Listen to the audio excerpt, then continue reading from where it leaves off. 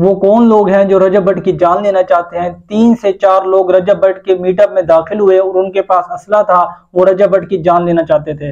रजब भट्ट कौन है? जैसा कि आप जानते हैं, रजब भट्ट एक विलोगर हैं। वो व्लॉगर पाकिस्तान के मशहूर व्लॉगर जिसने बहुत ही कम अरसे में वन मिलियन यूट्यूब पर सब्सक्राइबर हासिल किए और पहले ये टिकटॉक पर वीडियोस अपनी वालदा के साथ बनाते थे फनी वीडियोस वो वहाँ से मशहूर हुए और उन्होंने व्लॉगिंग का फैसला किया।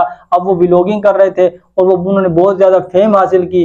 उन्होंने अपना मीटअप पहले मुआना मॉल में रखा, लाहौर में। वहाँ पर बहुत ज़्यादा क्राउड था और बहुत ज़्यादा इनको सराहा गया। और अब इन्होंने कहा था कि वन मिलियन पर मैं भी आपको बहुत ज़्यादा बड़ा सरप्राइज़ दूँगा। और इन्होंने एक इमाम बार गाँव में, जो कि चार कनाल की जगह पर मुश्तमिल थी, इनके जो मुखालफिन है, वो कहते थे कि आप छोटी सी जगह में आप मीटअप रख लेते हैं, आवाम बहुत ज़्यादा नज़र आती है। उसके बाद इन्होंने क्या किया? इमाम बार गाँव में मीटअप रखा, जिस पर इन्होंने दो हज़ार बंदों का खाने का इंतज़ाम किया, अफ्तारी का इंतज़ाम किया और उनको बुलाया।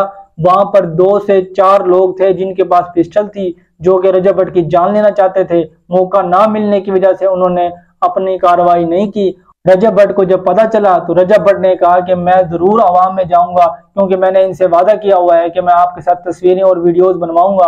उन्होंने अपने साथ गार्ड्स लिए। उन्होंने कहा कि मैं क्यों ना अपने साथ गार्ड रखूँ, जब तक मेरी जान को खतरा है तो मुझे अपने साथ गार्ड ज़रूर रखने चाहिए। और वो ऐसे लोग कौन है जो रजब भट्ट को मारना चाहते हैं? जब वापस जाते हुए रजब भट्ट ने अपनी वालदा से पूछा कि आपको आज कैसा लगा तो वालदा ने कहा कि बस ठीक है, कुछ खास नहीं।